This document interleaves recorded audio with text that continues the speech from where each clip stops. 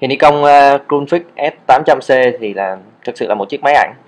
À, còn cái hệ điều hành Android là chỉ là bổ sung cho máy có cái tính năng nhiều nhiều tính năng ví dụ tải hình lên hoặc là các tính năng về chỉnh sửa hình ảnh thôi. Ở đây mình sẽ trình diễn cái tính năng chụp của máy. Thì bạn chỉ cần đơn giản khởi động máy lên và vào tính năng chụp. Máy cũng có một cái chế độ rất hay đó là chế độ khởi động nhanh. Ở đây mình sẽ tháo chiếc pin ra cho bạn biết là hệ điều hành đã tắt, thì khi mà mình gắn chiếc pin lại, mở lên thì ngay lập tức bạn có thể chụp được cái tấm ảnh đầu tiên rồi. Thời gian mình làm nãy giờ là chưa tới 3 giây. Tất nhiên là bạn sẽ không thể vào hệ điều hành ngay được, tại vì bạn sẽ phải mất một cái thời gian khoảng 20 giây để mới có thể vô được cái hệ điều hành Android. Cho nên các phím tính năng hiện giờ đang bị chặn. Và máy sẽ hiện ra một cái thông báo là vui lòng chờ.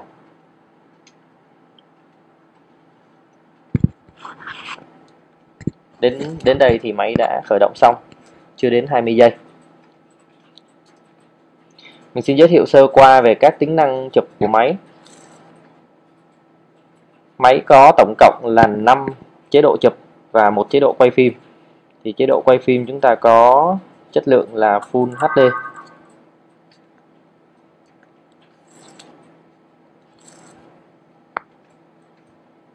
chế độ chụp tự động dễ dàng thì uh, chế độ ngắm và chụp. Ở đây bạn vẫn có thể điều chỉnh EV được nó khác một chút so với một số máy ảnh không không cho chỉnh cái gì hết.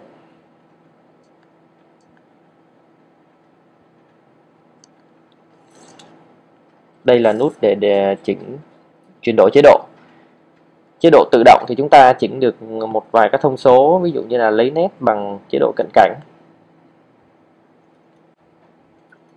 Còn chế độ nhận diện cảnh chúng ta có một số cái uh, chế độ nhận diện cảnh bao gồm chân dung phong cảnh thể thao chân dung ban đêm bữa tiệc trong nhà bãi biển tuyết chụp panorama chân dung vật nuôi.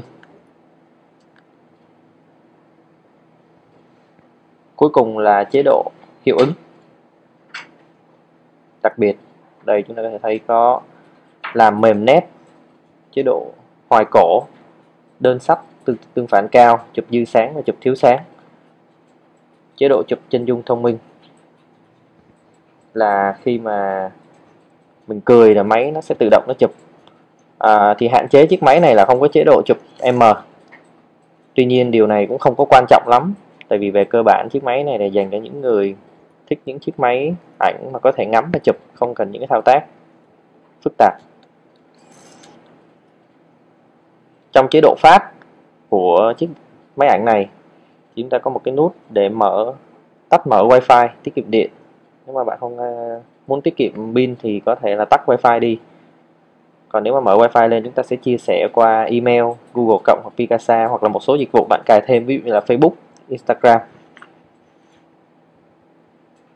Máy hoạt động với à, tốc độ cũng rất là nhanh.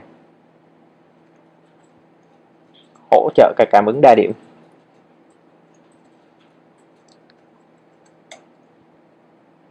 Đó là một vài các ờ, tính năng cơ bản của chiếc máy ảnh này.